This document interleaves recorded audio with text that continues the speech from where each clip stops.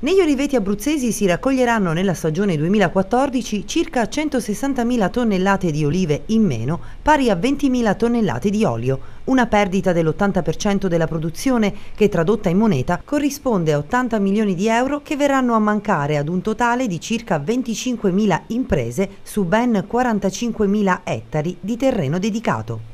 Abbiamo una forte riduzione della produzione olearia di circa il 50-60% le prime stime, così per il lavoro relativamente ai frantoi. Una situazione allarmante che riguarda tutta la regione, con particolare riferimento alle province di Pescara e Chieti, su cui già a luglio Coldiretti aveva messo in guardia gli uffici regionali chiedendo l'avvio del monitoraggio da parte dei tecnici per la verifica della situazione. Insieme ai consorsi, insieme alle organizzazioni di categoria stiamo procedendo verso la richiesta della calamità naturale, sia per problemi di meteo ma anche e soprattutto per la mosca olearia che ha causato questi problemi. La richiesta richiesta della calamità naturale va in questo senso, per cercare di indennizzare i produttori e i frantoi circa la situazione gravissima di quest'anno. Speriamo di dare una risposta quanto prima e soprattutto avere attenzione da parte del governo centrale.